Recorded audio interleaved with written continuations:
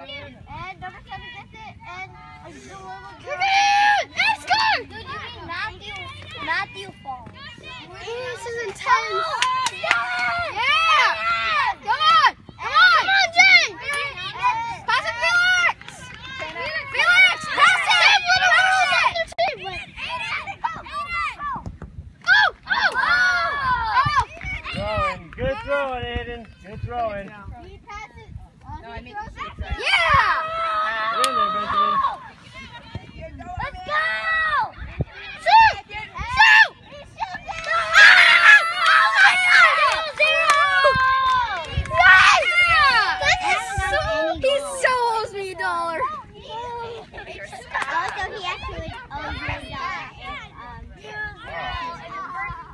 Oh my God!